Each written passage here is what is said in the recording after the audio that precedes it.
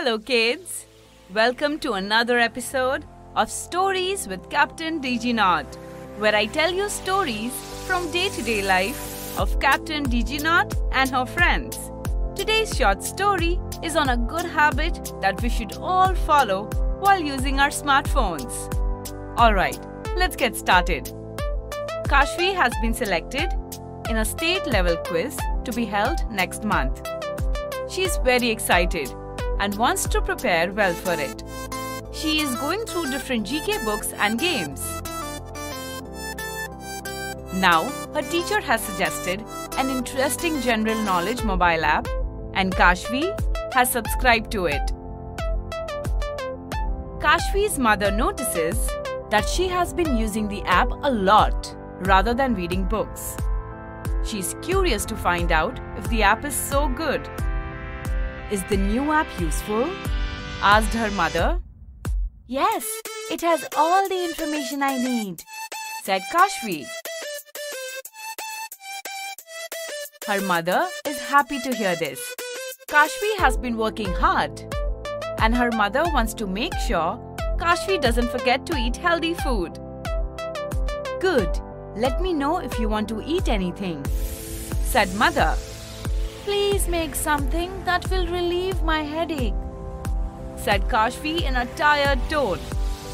Kashvi's mother gets concerned. She has been constantly on the app. For sure, continuous screen time is causing her headache. She says to her, Dear, let me tell you a magic trick to avoid this headache. She tells her that after every 20 minutes of looking at the screen, she should look away at the tree outside the window and count till 20 before she looks back at the screen. Kashvi starts following the routine and she is surprised to see that she is no longer having headaches. Her mama's trick has worked.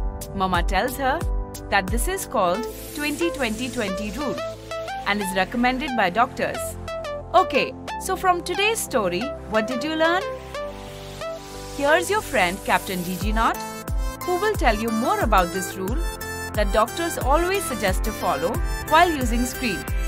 Balance your screen time with the help of simple 20-20-20 rule. After every 20 minutes of looking at the screen, look 20 feet away for 20 seconds. This will protect your eyes from strain and prevent headaches due to screen time. Thanks for watching this video and I hope you liked it.